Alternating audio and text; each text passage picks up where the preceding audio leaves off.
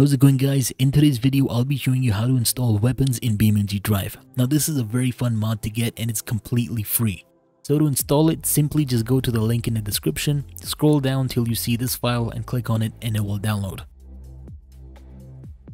Then go to your Steam library, right click on BeamNG Drive, press manage, browse local files, then a window will appear, then go to content, then go to vehicles, drag and drop the file here, no need to open it, no need to open the zip file, it's that simple.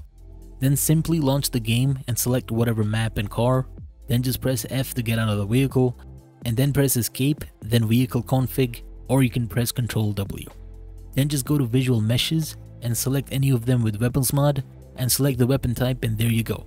This is a pretty fun mod. That's all for today. If you did enjoy this video, be sure to leave a like, share, and subscribe. And thank you so much for 300 subs. I'm pretty sure we are like 321 right now. And obviously the goal is to reach a thousand and I'm pretty sure we can reach that. If there are any tutorials you want me to do, let me know down in the comments below. See you soon.